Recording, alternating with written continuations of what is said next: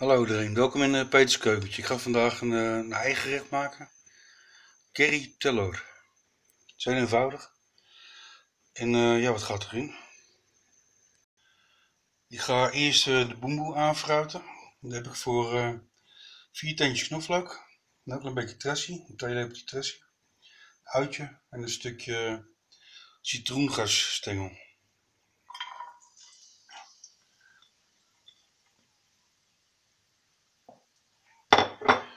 Kom nog bij uh, één tepeltje groenzit.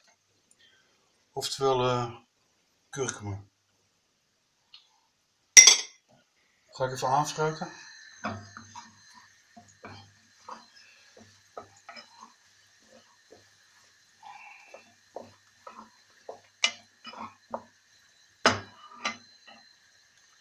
Even een paar minuutjes.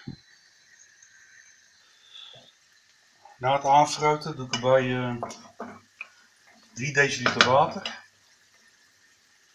En die heb ik uh, gemengd met uh, zanten. Met 100 gram zanten. Dus 3 deciliter water met 100 gram zanten.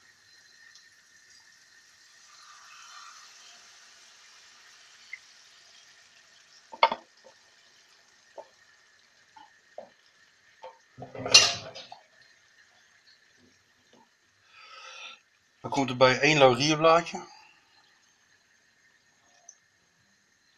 Drie uh, citroenblaadjes, die zijn heel klein, dus ik heb er drie. En ik heb ook nog twee uh, rode pepertjes uh, grof gesneden. Die gaan erbij.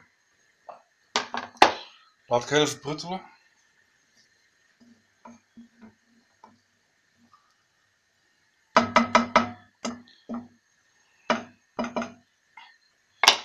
Even uh, ja, een minuutje of twee.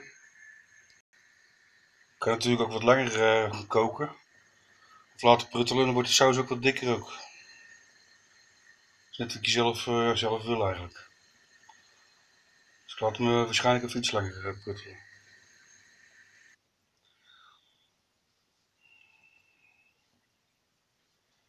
Ik laat hem nog uh, verder pruttelen. En ondertussen heb ik ik heb van tevoren natuurlijk eieren gekookt.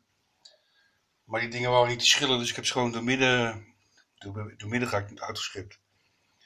Dus het ziet er niet zo netjes uit, maar ik ben gek van het schillen.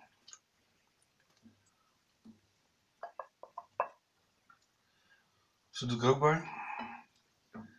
Laat ik het nog 5 minuten verder pruttelen. Kunnen die smaken goed intrekken.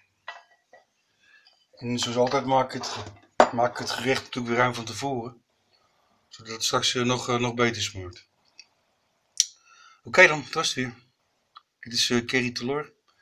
Bedankt voor het kijken, eet smakelijk en tot de volgende keer.